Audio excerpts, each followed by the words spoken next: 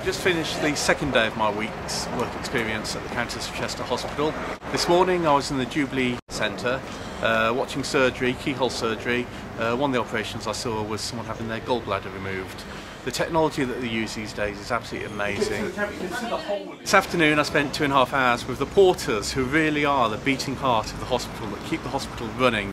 After two days, it's totally clear to me that the entire operation of the hospital is very, very complex. But the guys at the back, whether it's in the kitchens, whether it's in the pathology labs, whether it's supporters, are actually key to keeping things running. I was due to be at the Countess all week, but you'll probably be aware that Parliament's been recalled on Thursday to deal with the, the current trouble we're having in London and other cities.